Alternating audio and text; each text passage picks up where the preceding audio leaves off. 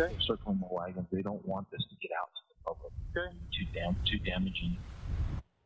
That is the voice of San Antonio Police Department Captain Timothy Vaughn, the head of internal affairs, admitting in a recorded phone call this May that department command staff was going to cover up an on duty sex scandal involving a commander and a female officer.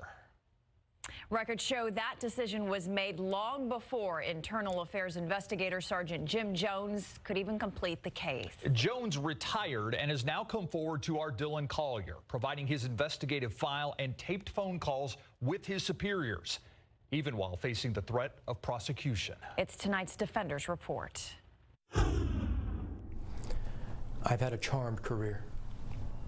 Uh, the city and the department's been good to me. I'm a disappointed employee. There's no doubt about that. Disgruntled?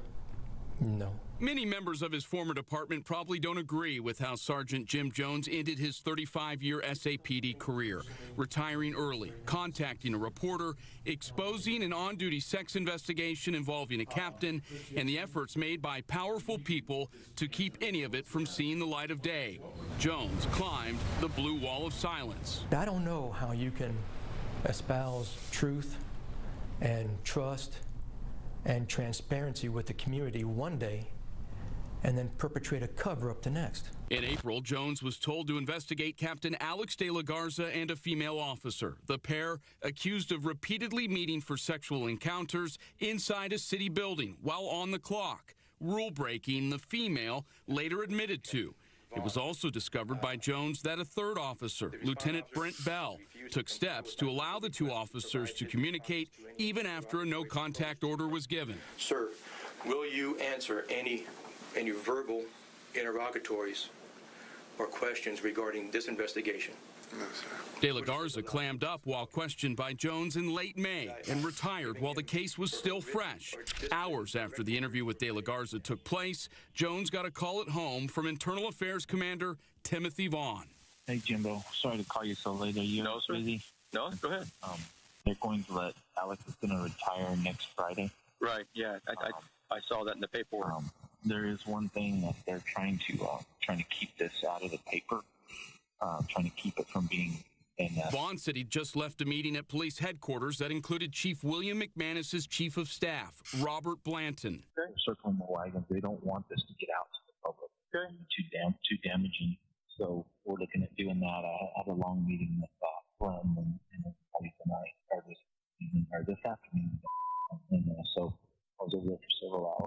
comments directly contradicting his own chief, who last week in a statement told us, quote, keeping it out of the public view was not the basis for my decision. If there's no discipline meted out, and they, they transfer her and then they put it to bed, they, it sounds like they're trying to, to close this down.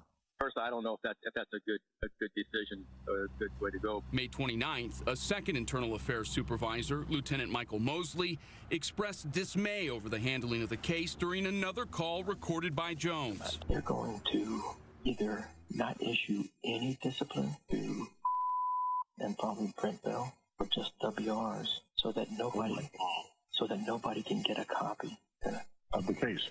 of the case. They're trying to cover this up. There's really no need for the department to do that. Two months later, just as Vaughn said it would, the case was closed with no suspensions handed out, meaning no public record of it. Requests for the files from the public or media would be denied. The men and women of SAPD, they go out there every day and every night, and, and they're doing a hard job. But they do it exceptionally well. And they know that if they violate the rules and regs or our policies and procedures, that they can be held accountable, or that they will be held accountable. Unless it damages or denigrates the department or tarnishes or humiliates the chief.